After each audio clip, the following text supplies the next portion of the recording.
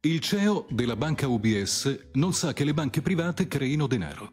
Oppure fa finta di non saperlo. In entrambi i casi è grave.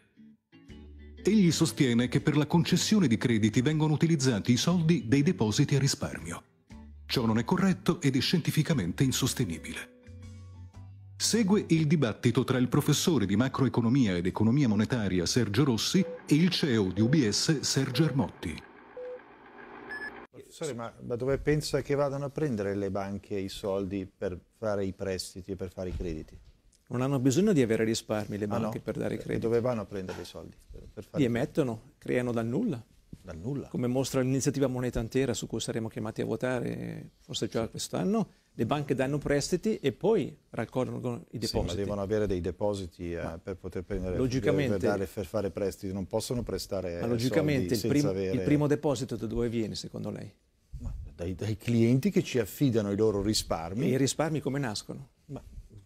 Cosa Occorre produrre un reddito, no? Ma certo, ma lei sta dicendo... Il reddito è prodotto banca... grazie al credito che le banche danno alle imprese. Limitiamoci Se a le banche non fanno credito alle imprese, non si crea reddito, non ci sono Ris... depositi allora, nuovi.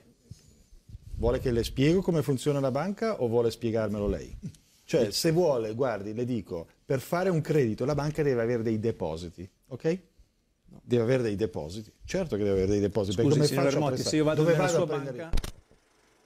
Il CEO di UBS, Sergio Ermotti, nega ciò che in realtà è incontestabile. Come invece asseriscono diverse importanti banche centrali, tra cui le tre che elenchiamo a titolo di esempio di seguito. La Banca Nazionale Svizzera. Oggigiorno la moneta scritturale, di cui gran parte è creata dalle banche commerciali concedendo crediti alle aziende e alle famiglie, rappresenta quasi il 90% dei franchi svizzeri. Anche la Deutsche Bundesbank è dello stesso avviso. Effettivamente, con la concessione di crediti da parte di una banca viene sempre creata nuova moneta scritturale. L'idea molto diffusa che una banca possa intermediare anche denaro vecchio già emesso prima, ad esempio depositi a risparmio, per cui la massa monetaria nell'economia non aumenti, non è corretta. E infine pure la Bank of England conferma quanto dichiarato dalle precedenti due banche centrali. Ogni volta che una banca concede un credito, essa crea simultaneamente un deposito corrispondente sul conto bancario del debitore, creando in tal modo nuovo denaro. O il capo di UBS effettivamente non sa come viene creato il denaro, oppure fa finta di non saperlo affinché UBS possa continuare a guadagnare illegittimamente miliardi di utili tramite il privilegio della creazione di denaro e affinché l'iniziativa moneta intera venga respinta dal popolo.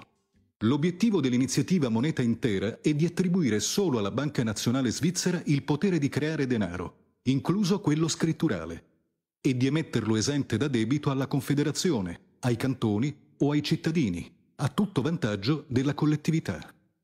In tal caso le banche private non potranno più creare denaro, ma potranno solo agire in veste di intermediari prestando solo denaro che hanno ottenuto dai risparmiatori, da altre banche oppure dalla Banca Nazionale. Se volete saperne di più in merito alla creazione di denaro da parte delle banche private, cliccate qui.